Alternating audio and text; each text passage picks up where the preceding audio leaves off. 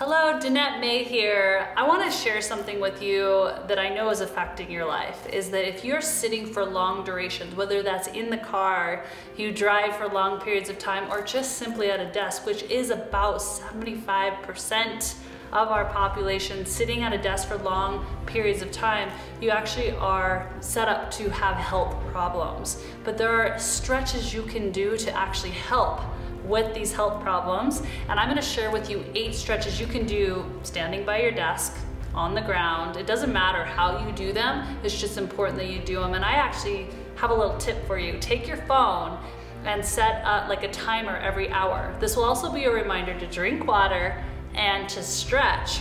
If you're driving, pull over off the road, do these stretches. You're really gonna help with lower back problems, knee problems, neck problems, sanity, and overall health problems.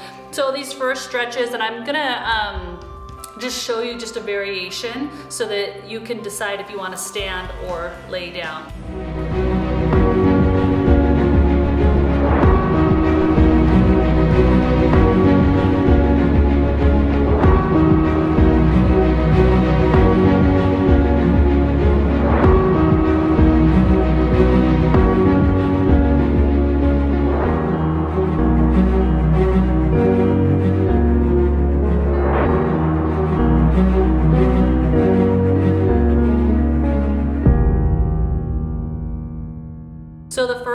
Shoulder shrugs. So if you're sitting in your chair, you're just lifting your shoulders up, rolling them back, really opening up that chest. We get like this a lot, right? Typing, typing, typing. So lift and roll back and really open up your shoulders, just like that.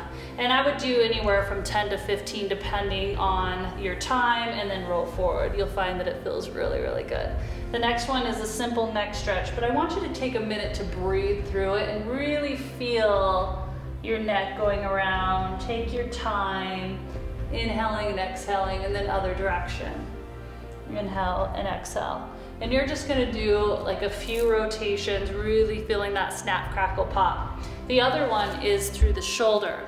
So you're gonna take your hands and you're gonna slap your back and then rotate out through your hands. So really just stretching, opening up your chest, getting some blood flow in through those shoulders, in through the back muscles. This is a really great one. All right, so you're gonna do this just anywhere from 10 to 15 slaps, depending on your time. The next one we wanna do is really this hip flexor. So this gets very, very, very tight, um, and especially if you're sitting all the time, if you work out and then sit down, this can get really tight, which creates a distended looking belly. So that's another little tip, but it's also really, really important to keep everything healthy in the hip area. So you can just kneel, put your foot forward. I'm gonna show you on this side for a minute so that you can see because I'm stretching this section. I'm gonna lean forward just a little bit and then roll my shoulders back so I can feel this stretch. So you're putting your foot up, leaning forward, and you can even bring your head back. You can take a hand up, that'll get you a little bit deeper. You can rotate that hand, really feeling that stretch in through this hip flexor pocket right here hold for anywhere from 10 to 15 seconds, and then switch sides. The other area is this piriformis. This area right inside here gets very, very tight and a lot of us don't even realize how tight it is, but it affects every single part of our body. So one you, exercise you can do or stretch you can do is you get down on your back and you bring your foot over this leg. For some of you, this is enough. You're already feeling it right in this little pocket, which it connects right up into that hip.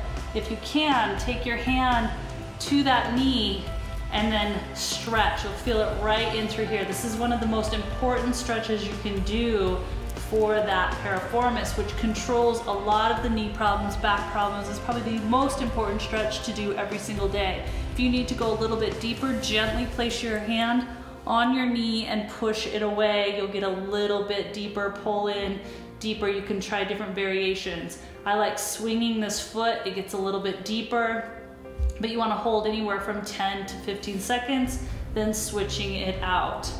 One of the most important stretches you can do. The next stretch is going to get your lower back, which is very, very important. You're gonna bring your foot out and you're gonna cross your knee over your body and bring your other hand out and look at your hand that's extended away from body. My back just popped. this is a really, really good stretch for that lower back that ties in with the glutes. So you're gonna hold, once again, 10 to 15 seconds and then switch it out. Now I know you're probably saying, Danette, that's great, but if I'm on the road or I'm at my office, I can't do this stretch. So I'm gonna show you variations if you have to stand. This is a great thing to do in the morning and evening to keep your health intact, and then I'll show you some ones you can do standing. So the last stretch would be for this lower back. I call it the lower back massage. A lot of us are feeling tension in there. You're gonna pull your knees up you're gonna circle five times like you're massaging that lower back, just like this in one direction and then five times in the other direction. It feels so good. All right, what I wanna do now is just take a minute and show you what you can do while you're standing. The first four exercises where I'm having you roll out your neck, so you can already do those, but if you're standing, and you wanna work that glute, what you're gonna do is to get that hip flexors, you're gonna do a standing runner's lunge. So you're gonna bring one foot forward and tuck that hip in just like this. So you have to be the one to tuck the hip in, like sink into the foot, tuck that hip in, and then you can bring one hand up or the other hand, just like that. Really getting in a stretch here in this hip flexor. Just like that, and once again, you would switch to the other side. Now for the piriformis, because you're like, hey, how do I get this piriformis if I'm standing? I'm gonna show you a move you can do and you're always welcome to hold on to the side of your car, your desk, um, anywhere you're at, really. You're gonna take your foot and cross it over your leg and then drop your glutes back and down. The key here is to drop your glutes back. You're gonna feel a stretch right here in that piriformis. If you need to hold on to your desk, you can hold on to your desk. Anything if you want that extra balance and you're gonna repeat on the other side. Nice job. Now you're wondering about this lower back. What we wanna do here is bend our knees. This would be in place of crossing your legs over your body. You're just gonna bend down, bending your knees. Take your hands and slowly rock side to side, just like this. Feeling that, release your lower back. I already feel it, it feels amazing. Nice work. Good. Good, all right. The last movement I want you to do, standing, is you're gonna, once again, hold on to your desk, a wall, a car, and you're just gonna swing your leg front and back. This has been a lifesaver for me and my hips that lower section of my body. Just swing that leg, let it just free fall, fall and swing it back and forth. You can do the other side. Feels so good. I probably need to hold on to something.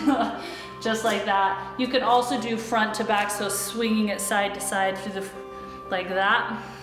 That feels really good too, really good for that hip do about 10 to 15 swings and then repeat on the other side.